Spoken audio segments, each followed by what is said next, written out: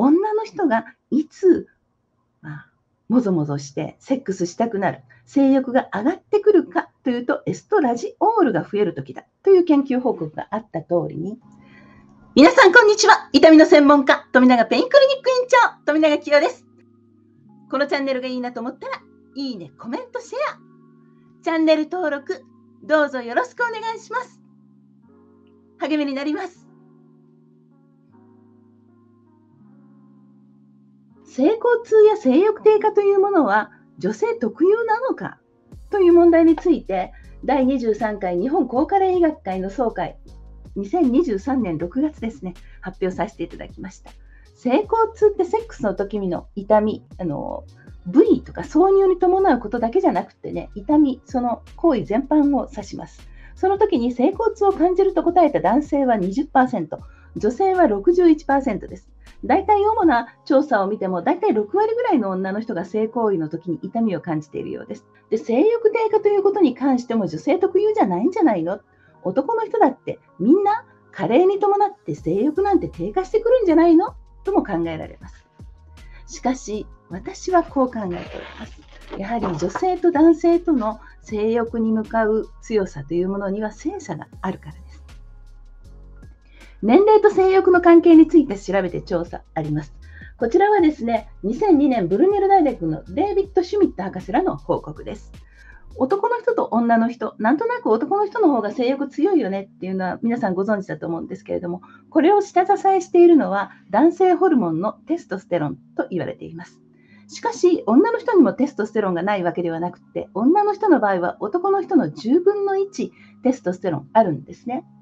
で、世界中の1万6288人を対象とした異文化調査です。要するに、いろんなね、アフリカ大陸だったり、東アジアだったり、まあ、ヨーロッパだったり、いろんなところで調査しています。これを性欲を7点満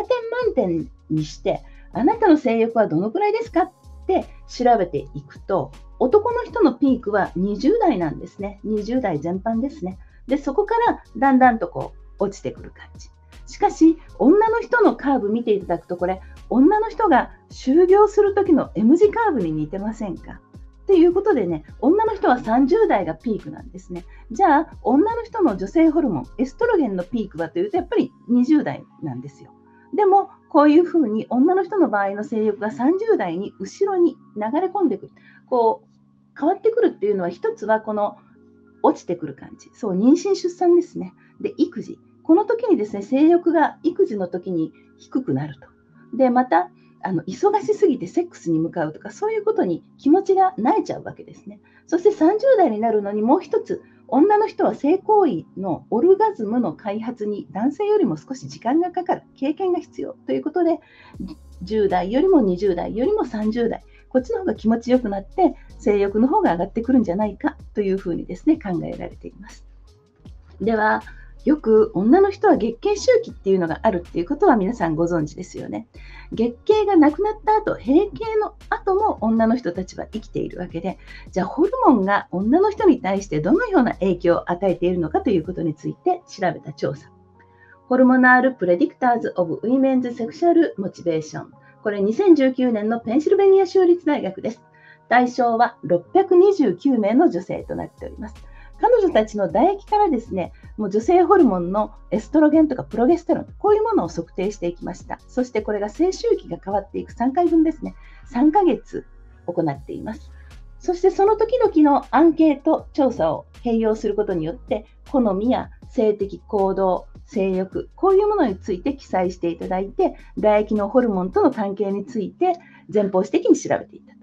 そうすると、月経周期っていうのがある女性においては、エストラジオールが上昇する期間に性欲が上がるということが分かってきました。いいですか？エストラジオールです。じゃあ、エストラジオールって何なんだろうっていう話ですね。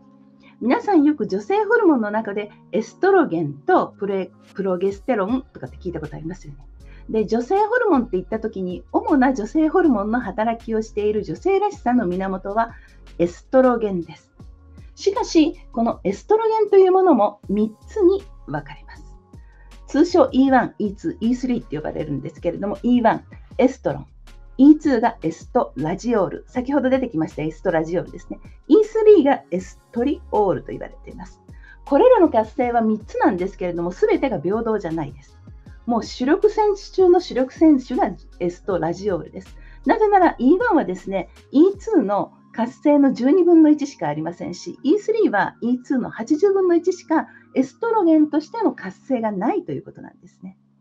ということで、強力なエストロゲン作用は、閉経前の女の人たちにとってはエストラジオールがメインであるということが分かります。で、E1 とかはじゃあ何してんの？エストロンって言ったら、コーチになると乳がんに関与してくる、まあ、エストロゲンなんですけれども、これは閉経してエストラジオールが出てきにくくなった、卵巣からもほぼ出にくくなった後に主に活躍してきます。卵巣や、まあ、副腎、脂肪組織、肝臓で作られています。卵巣で E1 から E2 へ変換されることによって閉経後の主なエストロゲンとも言われるわけなんですね。いいですか？でも全然活性が違いますね。12分の1。そしてこちらの E3 は80分の1なんですけれども、これは活性は少ないんだけれども、乳がんに対するこっちはね、抗がん作用があるんですよ。で、E1、E2 から肝臓で変換して作られています。なので、女性ホルモンのエストロゲンがって言った時っていうのは、主にそれはエストロンでもエストリオールでもなく、エストラジオールの活性を示すということなんですね。E1、E2、E3 が分かったところで、どのような変化を体の中にしているか。で、エストロゲンの変化。まあ、これはほぼエストラジオールの変化ではあるんですけれども、まずはこちら、月経周期がある女の人たち。これはまあ、月経周期っていうのは基本的に28日周期というふうにしており、28を4で割るんですよ。7日、14日、21日、28日。で、この月経期のところが、まあ、0日から5日目ぐらいで、これで月経期から始まって、その後にエストロゲン、このピンクの線ですね。エストロゲンがぐーっと上がってきて排卵に向かってくるわけなんですね。そしてこの赤い線で書いたところが排卵期。で、今回もし受精しなければ、子供を宿さなければ、もうそれはいらなかったですねっていうことで、まあ、プロゲステロンがブーっとこう上がってくるんだけど、エストロゲンはそのまま下がって、エストロゲンはね、面白い。ここでね、二層性に波が、一発目が大きいんですよ、確かに。で、これが少し上がって、そして妊娠しなかったんだったら、プロゲステロンとともに落ちてくると。まあ、こういう波をしています。で、女性の性欲に関してメインを司っているのはエストラジオールです。ということを考えると、女の人がいつ、もぞもぞしてセックスしたくなる、性欲が上がってくるかというと、エストラジオールが増えるときだという研究報告があった通りに、いいですか？月経が終わった後、排卵日に向けてぐーっと上がってくるんですよ。だから、一番高いのは月経が終わった後、排卵の前、この時に性欲を催していく。いいですか？しかし、こういうのも聞いたことないですか？なんか、生理前になったらなんかムラムラしてしたくなるとか、なんかこういうのも聞いたことあるでしょ女の人によって。これどういうことっていうと、ここがまた28日周期の0日の月経が始まるところですから、生理の前の二層性の波のこのピークの時に感じてしまう。